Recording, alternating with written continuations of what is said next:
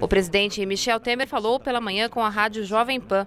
Na entrevista, ele comentou as eleições norte-americanas. Eu tenho absoluta convicção de que a relação institucional do Brasil com os Estados Unidos continua a mesma. Não haverá eh, modificação nenhuma. Você sabe que é o segundo parceiro comercial do Brasil.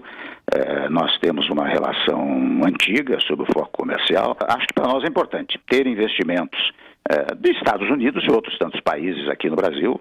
É importante para o foco principal do nosso governo, que é eliminar pouco a pouco o desemprego. Segundo o porta-voz da presidência da República, Alexandre Parola, o presidente Michel Temer acompanhou o processo eleitoral nos Estados Unidos desde a noite de ontem. Hoje, o presidente enviou uma mensagem a Donald Trump desejando êxito na condução da política norte-americana e disse que está certo de que Brasil e Estados Unidos vão continuar trabalhando juntos para estreitar os laços de cooperação e amizade entre os dois países. As relações entre Brasil e Estados Unidos são marcadas por elevado grau de intensidade e diversidade.